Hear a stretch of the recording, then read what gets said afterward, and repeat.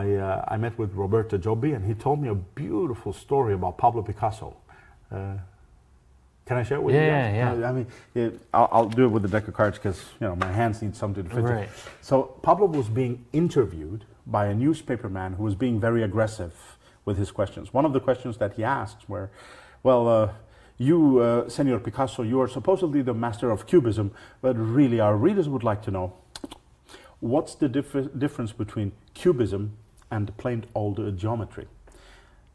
Now that's a tough question. It's like asking what's the difference between science and art. Right. But Pablo was very clever. He took a piece of paper and he took a pen and he started to draw a perfect circle.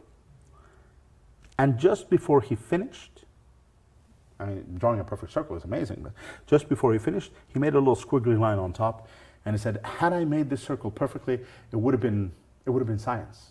It, it wouldn't have been art. But now, because of that little thing, now it's art. Right. And I find that beautiful. I mean, uh, I, I'm no painter, I'm a magician, so my art looks different. What? But I mean, it's real, right? It's, that it's not an Yes. illusion. um, Chris, I'd like for you, I'd like for you to take the deck, und- well, your hands, you don't have to go under the table, and while it's under the table, I want you to do this. I want you to cut the deck where you want.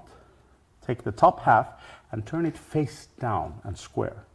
And it's important to understand, if you cut a small packet, this near perfect circle, mm-hmm. near perfect, it's going to be face down towards a different card than if you were to cut a big packet. okay. You understand? Yeah. So so one more time, real quick. So Sorry. cut Cut. and flip the Flip. top card Okay. face down and square. Cut. Flip. Okay, got it. Do it beneath the well, the hands. You don't have to go under the table, just, just the hands. Got it.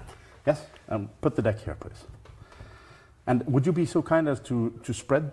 I, I don't want to do it. Oh, spread it? Yeah, spread. Or you can do it that way, either way. Any way you feel comfortable. Yeah. Good. Can you please remove the two cards that are face to face and pull them out together? Is that it? Perfect. Uh, I want you to notice that there are no more seven of, oh, sorry, no more eight of diamonds. You can see? Nope. and no more near perfect circles in the deck either. That Twos of clubs with the with the near perfect circle. Right.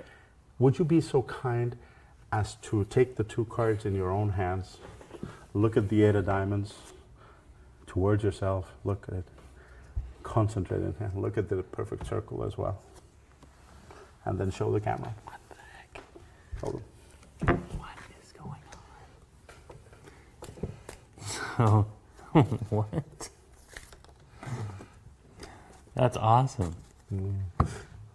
That's, What the uh, heck? Let me see. Oh yeah. It's yeah, great. that is strange.